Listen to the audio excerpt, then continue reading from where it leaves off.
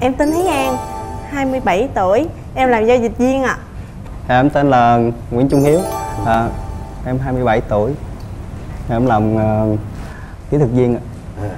Hiếu Kỹ thuật viên à. Dạ Hiếu và An Hai người là gặp nhau trong trường hợp nào? Tình yêu hai bạn nảy nở ra sao? Dạ năm lớp 12 Tình cờ là em vào quán trà sữa uống nước với nhỏ bạn cũ Thì à, gặp à, anh Hiếu Nhưng mà lúc đó thì em không biết mặt Tại vì anh Hiếu từ Sài Gòn đi xuống Đồng Tháp Chơi với một người bạn trai ừ. Rồi sao? Xong rồi à, nhỏ bạn cũ của em mới xin số điện thoại của em Tại vì lâu ngày gặp lại ừ. mà nó mất số điện thoại em mới cho nó à. rồi tình cờ anh này nghe được đi về nhắn tin tán tỉnh em rồi em nghe cái số điện thoại điều gì mà tại sao em lại nhắn tin cho cô này em tán tỉnh dạ tại vì mà đọc đi đọc lại thì em cũng nhớ ừ. về về cái em vô tình em cứ nhắn tin thử. Lúc đầu thì chỉ nhắn là dính chọc cho vui. Nhưng mà em có biết mặt cô này không? Dạ không. Chưa. Bên bên kia bên kia có trả lời không? Dạ, dạ em nhận có. được tin nhắn em trả lời ạ. À. lúc đó cũng đang ế á. Rồi nhắn tin qua lại thấy anh này nói chuyện thật thà. Nhắn tin có khoảng 20 ngày. Ừ. ông đi xuống một lần nữa. Ừ. là lúc đó ông nói để ông muốn gặp mặt em. Ừ. lúc lúc hồi đó chồng em xấu lắm đen xì lì à rồi ốm nhất à? Chứ không phải mặt như giờ mà tại em sẵn ế nên để tìm hiểu luôn. Lúc anh thấy em nhà em rất là dễ thương và chất phát hiền lắm. Ừ. hai chồng thì chắc không bao giờ gây lộn đâu đúng không? Dạ. Dạ có gây nhưng mà chồng em nói cãi lâu buồn lắm vợ ơi. Ở tụi em lấy nhau bao lâu rồi?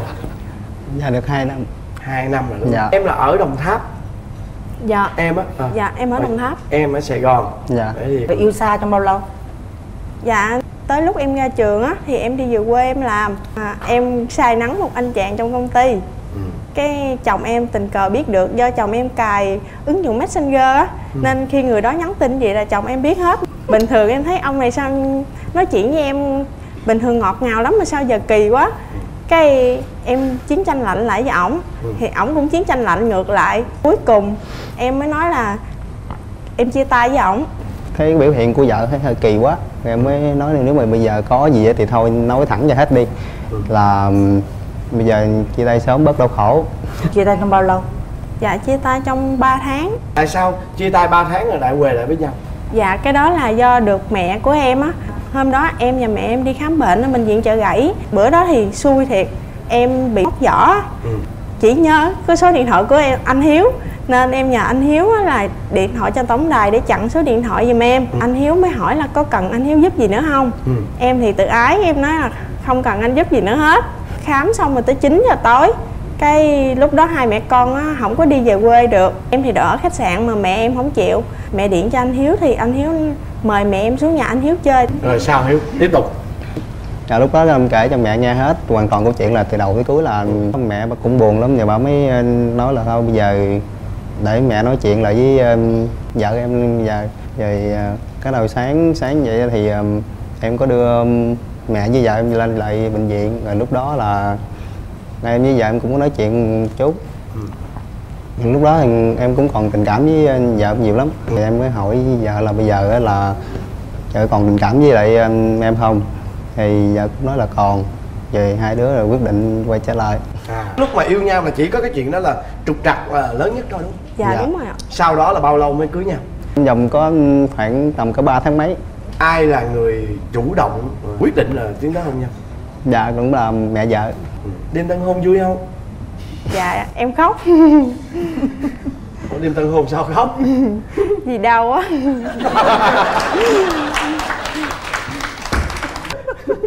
Có bắt đền không? Ừ. dạ em nói là hỏi biết chi á em em không lấy chồng cái chồng em nói vợ ngộ quá à.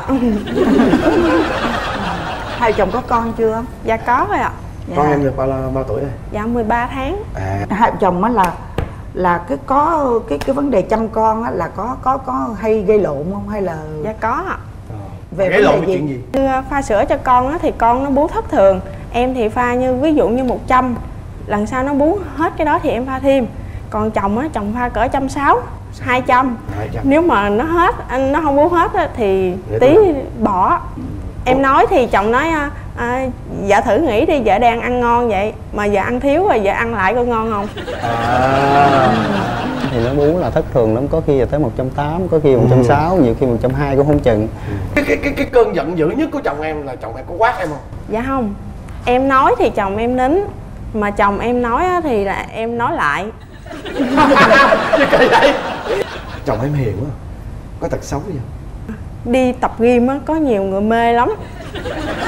Mà mà đàn ông mê. Ta, ta mê thì kệ người ta chứ chồng em có mê lại không? Dạ mấy người đó cứ nhắn tin qua lại rồi chồng em cũng trả lời nữa. Người ta nhắn cái gì cho chồng em?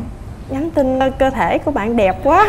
Rồi em cũng trả lời em chồng em trả lời sao? Chồng em nói "À, cũng à, do một thời gian lâu lắm mới được như vậy đó nha bạn. Có mời à, gặp gỡ gì không? Cũng có khi hẹn ra cà phê ạ. Mà chồng em có đi không? Dạ có.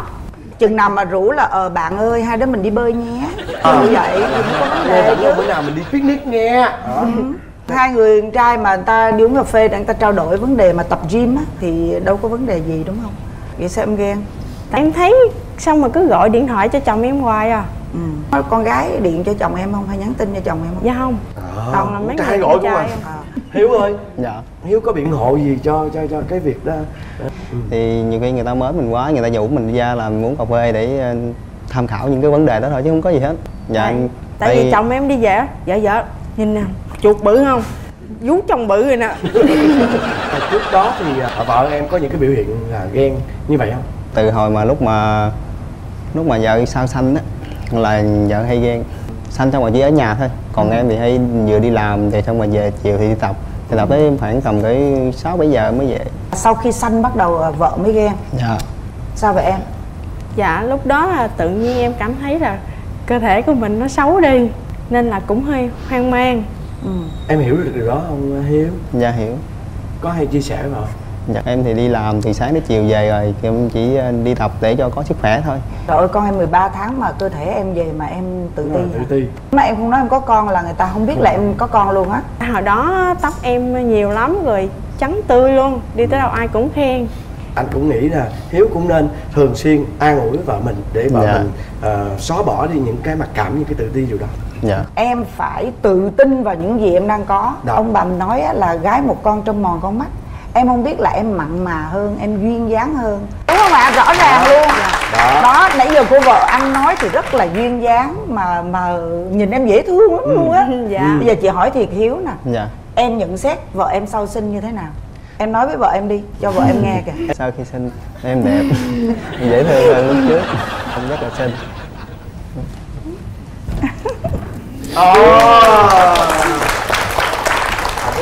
thôi nhân đây thì à, có muốn nói một điều gì đó giống như là mong muốn anh ấy thay đổi điều gì thì em cứ nói. Dạ chỉ mong muốn à, chồng Nhìn em chồng là đi. bớt hay quên. À, còn hiếu mong muốn vợ thay đổi điều gì? Dạ em chỉ um, mong muốn vợ em làm bớt căng nhằn lại thôi. Chị cũng không biết nói gì hơn là ngoài cái việc mà em phải tự tin lên á thì ờ, vợ chồng em không có cái điều gì mà để phàn nàn hay là hay là cần phải thay đổi sửa đổi gì cả. Dạ. còn sau này khi con nó lớn á con nó lớn lên một chút á thì nếu cần thì em đi tập thể dục Đó, chung với chồng. Hai chồng cùng tập. Đó. Dạ. Đúng không? Dạ. Được chịu không? Dạ. có muốn cho vợ đi tập chung không? Dạ có. Thôi chúc hai em mãi mãi hạnh phúc nha